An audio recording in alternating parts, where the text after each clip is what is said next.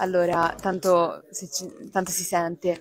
Ah, io, piacere, eh, Rebecca Fallati di Rete Valdera e volevo sapere, insomma, sapevate che av- avreste giocato contro una squadra abbastanza forte, quindi nel senso eh, si sapeva che sarebbe stata una partita difficile.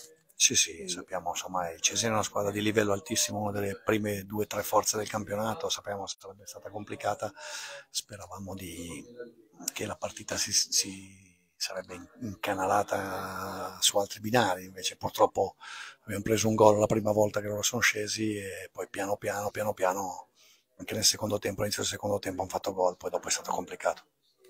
E per quanto riguarda prima di Ancona, diciamo che avevate una difesa molto solida, avevate subito non molti gol, poi eh, Ancona c'è stato il 3-0 e quello di oggi può essere una replica di, di Ancona oppure è stato più che un errore della difesa, poca, concreti- ehm, poca concretezza all'attacco. Cos'è che... No, no, Ancona è stata una partita completamente diversa, Ancona non siamo praticamente mai entrati in campo, oggi abbiamo fatto la nostra partita, probabilmente nel primo tempo meritavamo molto di più noi, poi piano piano, insomma, alla fine il Cesena ha fatto tre gol, è inutile girarci intorno, se perdi 3-0 è giusto che, è giusto che vinca la squadra che ne fa tre.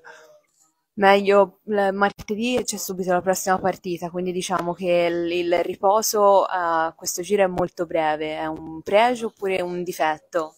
No, beh, alla fine quando perdi spesso hai voglia di rimetterti subito in, in discussione, quindi va bene, va bene così, siamo contenti di giocare subito. Va bene, allora in bocca al lupo per martedì, grazie mille, gentilissima, arrivederci.